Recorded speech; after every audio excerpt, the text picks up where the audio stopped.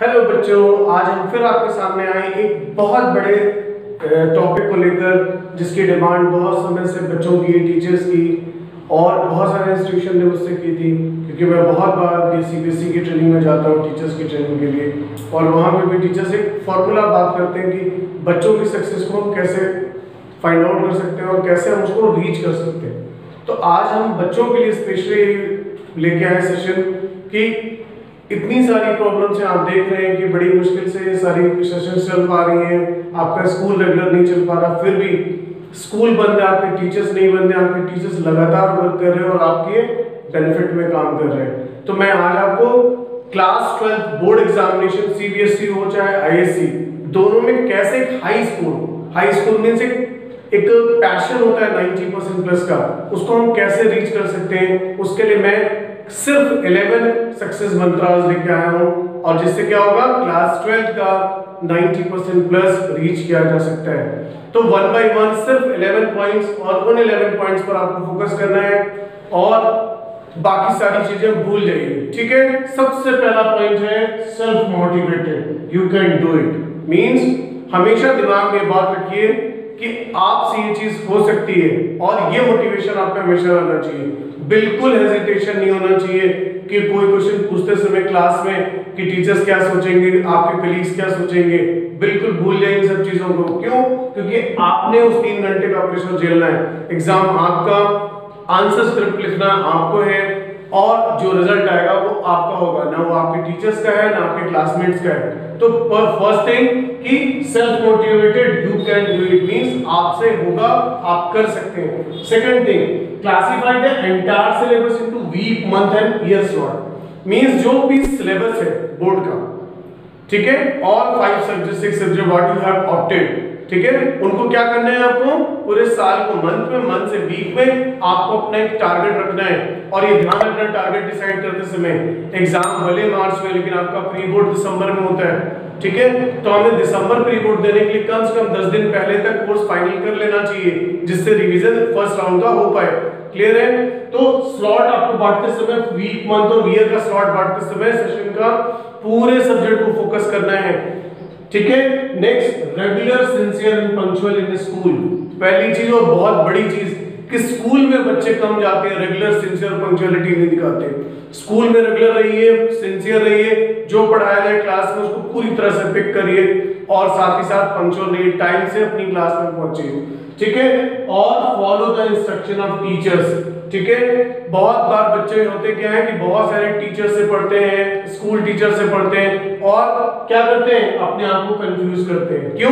क्योंकि हर टीचर का अपना एक सक्सेस फॉर्मूला है, अपना एक पढ़ाने का ढंग है, और कितने सारे टीचर्स आपके वैसे सेट करेंगे? तो वन थिंग कि टीचर्स जो है, वो आपके स्कूल के पहले हैं, और follow the instructions the teachers ठीक है?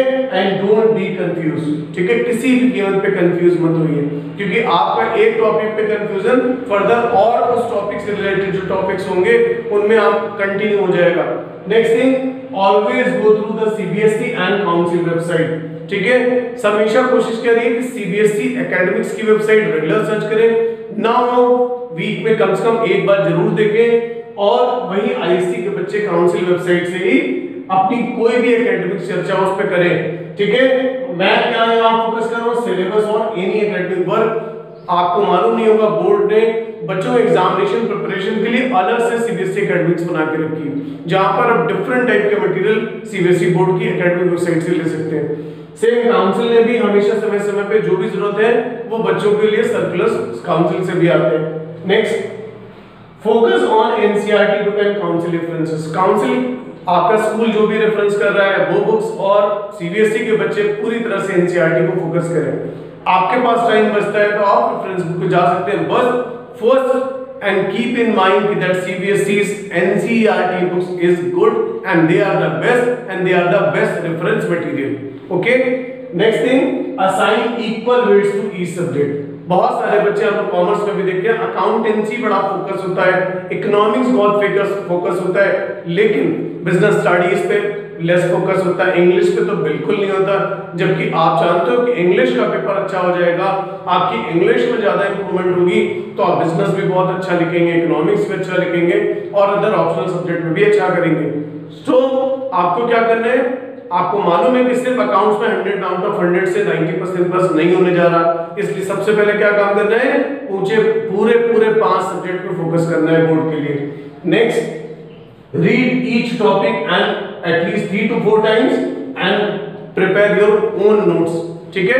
सबसे पहली चीज़ क्या है कि जो भी टॉपिक्स हैं रीडिंग करते समय चार से पाँच बार पढ़िए, तीन से चार बार पढ़िए। और जो आपको समझ में आ रहा है उसका सेल्फ नोट्स बनाइए प्लीज़ दूसरों के नोट से मत पढ़िए। अपना नोट्स किसी को मत दीजिए। अपना काम खुद के लिए है। Clear next thing always plan for self study and revision कोशिश करिए कि आपको अपनी सेल्फ स्टडी का टाइम ज़रूर मिले। ठीक है? और उसके लिए ये आपको ही ये सेक्रीफाइस करना पड़ेगा कि स्कूल देन आप बहुत सारे बच्चे इंस्टीट्यूशन में कोचिंग पढ़ने जाते हैं। तो मुझे लगता है कि इससे आपका जो पर्सनल स्टडी का टाइम है, वो निश्चित अफेक्ट हो रहा है, क्योंकि कोई भी school six to seven hours पढ़ा रहा है और उसके बाद कोचिंग कम से कम दो से तीन घंटे, और इस टेन आवर्स की स्टडी के लिए आपको कम से कम दो घंटे आपका कन्वेंस यानी ट्वेल्व आवर्स तो आपके पहले निकल गए। तो self learning time self preparation time self study time and self revision time ये आपको एलोकेट करना पड़ेगा।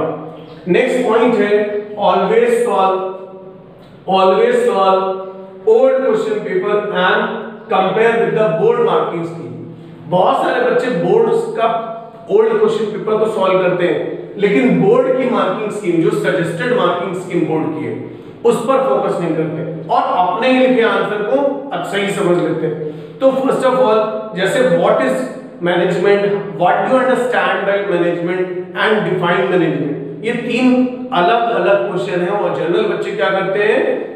कि तीनों में मैनेजमेंट की डेफिनेशन लिखते हैं, ठीक है? तो तीनों चूँकि क्वेश्चन अलग है, भाई व्हाट इज़ मैनेजमेंट मींस क्या है मैनेजमेंट एक perspective as a layman answer What do you understand by management? Means your understanding regarding and define management. This is the definition of management. Okay, and three different question and there are three different answers. So always concerned with what board's marking scheme which is given by the board in their own website. Okay, next always appear in school test exams and pre boards.